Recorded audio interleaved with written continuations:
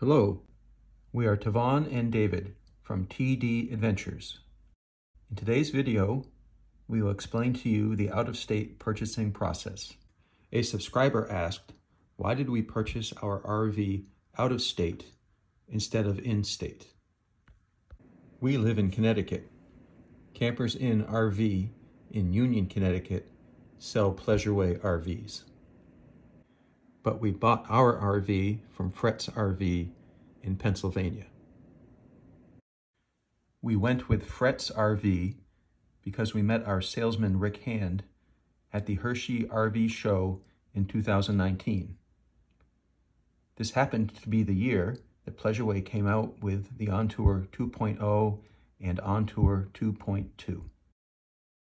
We continued to stay with Fretz because Fretz was the only RV dealership that had a new Ontour on site for us to test drive. Our salesman was so awesome.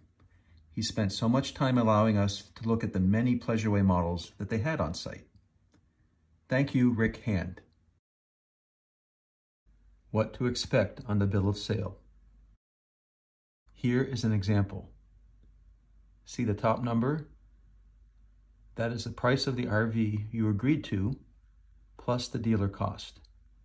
In this case, the dealer cost is $4,000. This number will vary from dealer to dealer. The 5000 is the required deposit amount. If you cancel your purchase, you won't get this deposit back. We recommend that you find a dealer that does not ask for you to put down more than this amount. What is the final amount to bring when picking up the RV? Call your salesperson to get the final amount. It should be the final sales amount you both agreed to, plus all dealer fees and document fees, minus your deposit. The unpaid amount is what you will need to bring with you when you pick up the RV. That amount will have to be in a bank cashier's check, not a personal check. You don't pay tax now. You will pay tax when you register your RV in your state. Before you pick up your RV, be sure to add your RV to your insurance and bring the insurance card with you. We added our RV to our AAA car insurance and also to AAA roadside assistance. When we picked up the RV, we rented a one-way car rental so we can ride the RV back together. There is an enterprise car rental across from Fretz RV.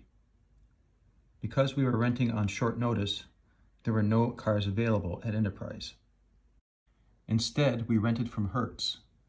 It was not a good experience for us because the car we rented gave us both a splitting headache from the cleaning product they used to clean the car because it had been a smoker's car. It was the only car available because of our short notice. When you arrive at the dealer, you will sign many papers and you'll be given a thick package. After signing, your salesperson will walk you through your new RV. If the walkthrough is not thorough, you can come and watch our video here. Make sure you are given two sets of keys before you leave the dealer. You will drive away with a temporary license plate. Registration varies by state. To register your RV in your state, you will need to have these documents with you.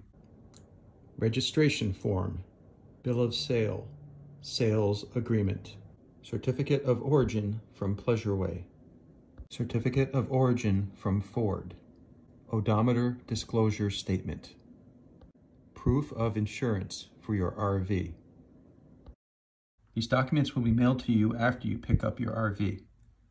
These documents took less than a week to arrive at our house. Before showing up to the DMV, we had to schedule an appointment online. You pay your RV tax at the DMV. You might need to sit down when you hear the number. We paid north of $10,000 in tax. The whole process at the DMV took only about an hour. This was such an improvement over past performance that Tavon left a positive feedback note. Tips after you get the RV. When you pick up your RV, it will have a strong new car smell or off-gassing smell. What we did was open both windows and turn on the fan at 20%, and we leave it on 24-7. Don't worry about the rain. The fan closes by itself when it senses rain. It took many weeks for the smell to go away. To this day, we still leave the fan on, especially on a really hot day, to keep the air circulating so the RV won't get too hot. When we park the RV in our driveway, we plug into house power using a 15 amp circuit. This provides enough power to keep the battery charged and the refrigerator running. You can learn a lot from joining Facebook groups. Here are some of the groups.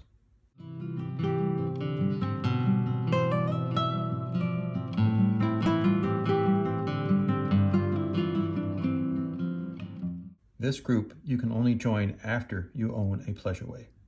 This was us babbling after we registered our RV. So, what did we just finish doing? So now we got registered in Connecticut plates. Yay! Yay! And what was the experience? Well, you have to go online at the DMV and make an appointment. Yeah. They're like every 10 minutes. Okay. I, uh, I thought that meant that, you know, you probably get there and then come right in, but Mm-hmm. in fact, when we showed up, there was uh, 15 uh, tickets in front of us. When you go in, they give you a ticket number. Mm-hmm. But that translated to about a half hour wait, I guess, which, considering it's DMV, is probably, you know, a good result. Yeah. Uh, usually you spend it all day. Yeah, yeah, yeah. So it's a good system Well, that yeah. they have. And even though, uh, even though we even at the door, they said, well, you only need one of you, we really needed both of us at the window because you could Mm. answer half the questions and I could answer the other half of the questions. Mm-hmm. Like they needed to see the insurance card, Oh, we totally which we hadn't brought in that. from here because I don't think it listed as on there what they needed to see, but I may have missed that. Fortunately, Yeah. it's it's On available online, and I, I had it, got to it pretty quick, and they were fine with that. yeah. Yep. And uh, they asked if we wanted to sit down first before they told us the total of the tax, We're like, wait a which is, you know, a big number. State of Connecticut, it's seven and a half percent for any purchases over fifty thousand dollars instead of six and a half percent. So, uh, ouchie. Yeah. We- We're gonna have to let one of the kids go. yeah, we're gonna have to get them together and say we have to let one of you go. Sorry.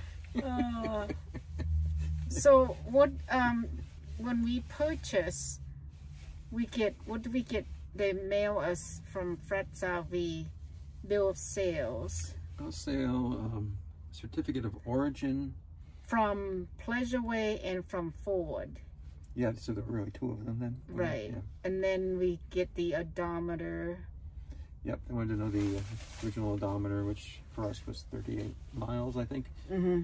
And uh, we had to fill out, of course, the Mhm. Connecticut form. Yeah. And uh, it's 38 miles because Pleasureway told the RV yeah, they don't drive it to the dealership. They Right, we just- transport it there. Yeah. which is very nice yeah and then what Yep. And uh, So you were nervous about coming Uh, to DMV. I, I do not like dealing with and this paperwork and waiting. I just, I don't. This comes from Y- y- many years of, of sitting actually for hours waiting for DMV. So I guess compared to that, today was handled very quickly. yeah, and the lady we had, her name She was was very pleasant. Touring Tor Tori Tory Lynn. Lynn Tori W. Yeah. She was wonderful. It was nice. So She's the one that said, "You may want to brace yourself before I tell you what you owe us." are you ready for the Ready? tax? Want to sit down? You're gonna sit down. We're like, yes. Let us breathe first. She- She's like, a, I double checked it. You know? Yeah. yeah. So yeah, it was a, a good DMV experience, guys. Yeah. Yeah. Yeah, hard to believe, but yeah, things have changed from over the years. Yeah, Now here in Connecticut, we have uh, two plates. yeah, Two plates. yeah. And we do not have a mounting kit on the front for this. We do. It's in the No, glove we don't have compartment. it on the front for this. Oh, Oh, we don't. It's in the glove compartment. Oh, so okay. someone's going to have to drill holes in our brand new car in the bumper. Oh, that's not going to be me. So I'm electing you. no. No? No. Yeah, no, we, they provided a, a holder for the plate. Okay. Mm-hmm. All Uh, good. time to go get something to eat. That's all for this video, folks. Have a nice day.